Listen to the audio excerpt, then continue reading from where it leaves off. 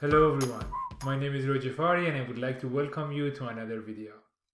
In this video we're going to continue learning about NumPy and specifically we're going to learn about this amazing function that NumPy has which is the function tile.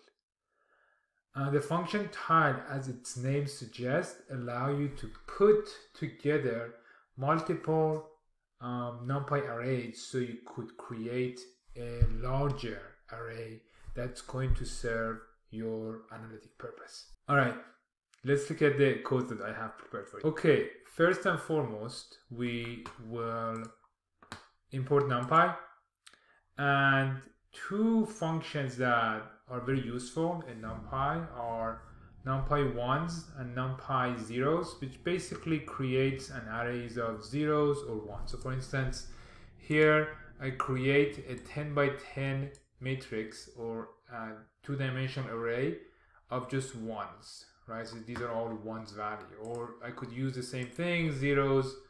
I would get, uh, you know, the 5 to 10 dimension uh, matrix dimension, um, which of all of them are zero. I could like play with these values. I could have smaller or, you know, larger um, uh, zeros and ones. Another thing I could do is that I don't have to, um, you know, limit myself with only two dimensions. I can I can have three dimensions. I can have four dimensions, right? So it doesn't have to be two dimensions. That NumPy is amazing enough to allow me to have all these dimensions.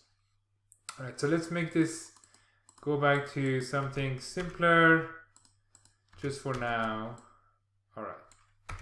So the best way for us to learn the functionality of the function tile is to sort of redo what we did with um, zeros, right? So I could use the function tile to just do the same thing, right? You know, I could tile, like put together zeros in this structure, right? So once I do this, this is exactly what I'm getting, right? And this is you know 5 to 10 uh, two dimension of array with all zeros and this is the same thing right? So uh, the function tile does this for us. It just puts a, a, a, an entity into a tile base into a structure that we give it to it. So for instance we can have a more sophisticated entity we want to tile up, like you know, put next to one another. And once we do this, um, we can see that you know our shape is the same as um, is is is not the same, right? The, the shape is different because we've got four elements, right? So we've got one, two, three, four, right? One, two, three, four. So this has been done. This 1, 2, 3, 4 has been tiled up for us, right? So that's uh, the way it tiles up just more than one data, more than one element in your um, entity you want to tile up.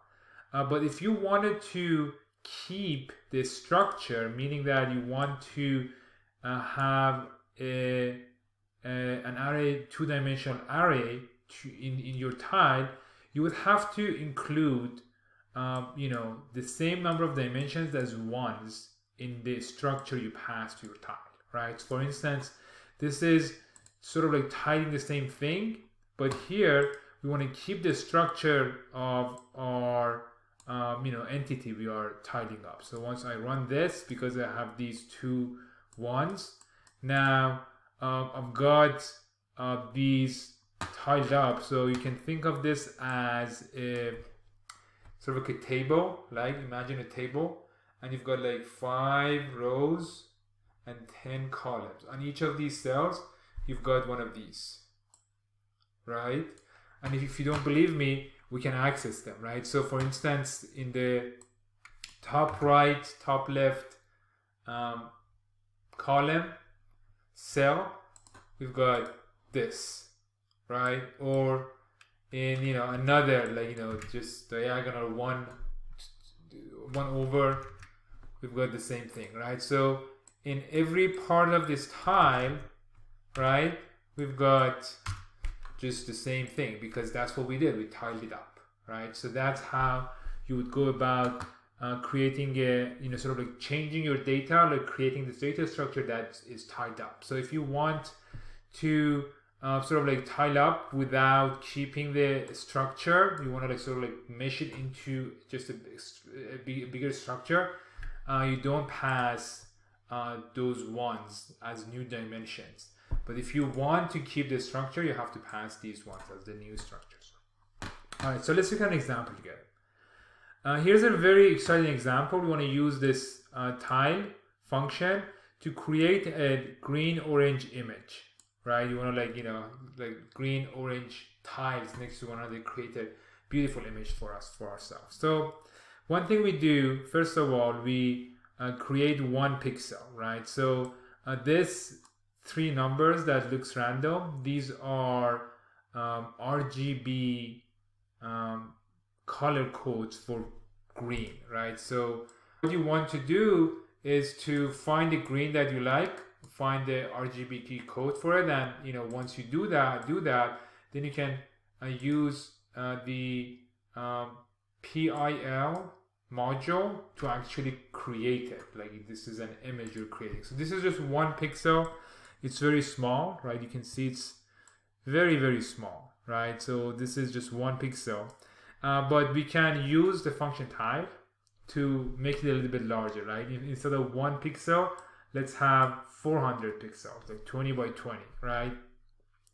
So uh, with, with, we just use the function tile to do this, right? So this is one tile, right? And this is using our one pixel. And when we look at this, now we've got 20, 20, and 3. This is the uh, structure of this one, right? So now if I uh, use my function to create that image, now I have that green um, tile, right? So this is this is uh, one tile. So I call this a green pixel, right? So this is just green pixel, like you know, it's larger than pixel, but you know, we're just giving it a name pixel. And this is green pixel. This is an orange pixel. These are RGB code for orange. And then one tile is used by the NumPy tile to create this. And then another tile using the orange pixel, like the same structure, right? And then what we've done here, we have created a green orange order and orange green order. Basically, we are, we are trying to con we are concatenating the uh, green tile with the orange tile and vice versa. So let's go ahead and run this and we can look at our um, green orange order and also our um, orange green order. So now that we've got orange green order, let's tile this up in this uh, just row, right? So uh, we, and this is the shape that we've got, we've got 20, 40, 3. So we want to tile this up uh, in this dimension, right? In this in this in this way. That's why we put 15 here, right? The rest we don't want to change, so we put one. So uh, we created a row. We call it even row. We're just using the same function np tile, right? So once we do this, now we've got 600 here instead of 400, like 40 multiply 15, 600. So now we can look at this. Now we've got this row, uh, green, orange, green, orange. Let's do the same thing. Another thing, we call this odd row. We're basically in an orange green order. We're doing the same thing to it. We're tiling it up. So once we do this, now we've got 200, 200, 200 600. And once we run this, now we start with orange green. So all we need to do now is to create a pattern by concatenating these two on top of each other, right? So we use the function concatenate, which basically put these two on top of each other and we put the uh, you know you look at the, its shape which is um, you know the shape of our pattern which is 40 because we put these two on top of each other right makes sense and now let's take a look at that right now all we need to do is to tile this up down and then we've got our picture so uh, our, our our image one image is our pattern basically we're tiling it 15 times on top of one another so once we run this uh, this is our image that we were able to create by just using the function uh, numpy tile. Alright, amazing. Until next video.